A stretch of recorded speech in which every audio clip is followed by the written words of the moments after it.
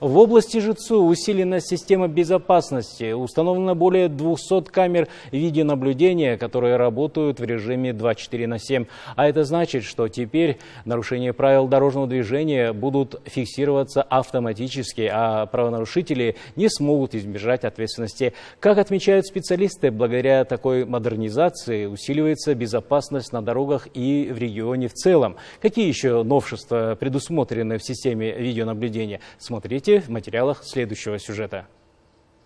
В области ЖТСУ с начала текущего года зафиксировано более 400 ДТП, в которых погибли 76 человек, а свыше 500 получили травмы различной степени тяжести. Несмотря на проведение регулярных профилактических мероприятий, статистика аварий в крае ЖТСУ остается неизменной, сетуют сотрудники дорожной полиции. В этой связи местные власти усилили меры по предупреждению дорожно-транспортных происшествий. Они планируют установить многофункциональные видеокамеры, которые будут автоматически фиксировать нарушения правил дорожного движения.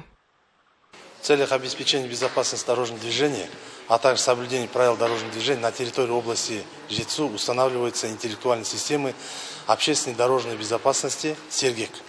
Проект предусматривает 216 камер и 34 аппаратно-программных комплексов. Данные комплексы на сегодняшний день устанавливается 20 комплексов по э, автодороге Алматы-Өскемен, а также в областных э, значениях автодорог, 14 комплексов по областному центру города Талдыкурган.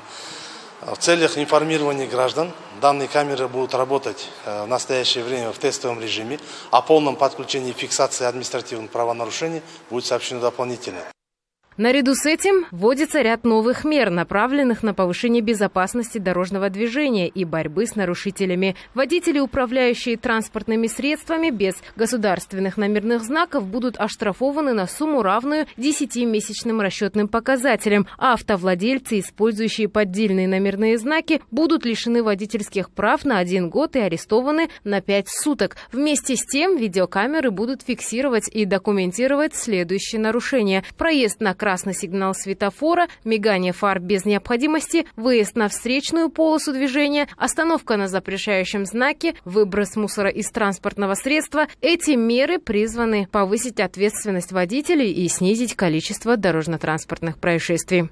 Сергей э, фиксирует такие административные правонарушения, так как э, превышение установленной скорости, дорожные знаки и разметки, э, будет осуществляться автоматически.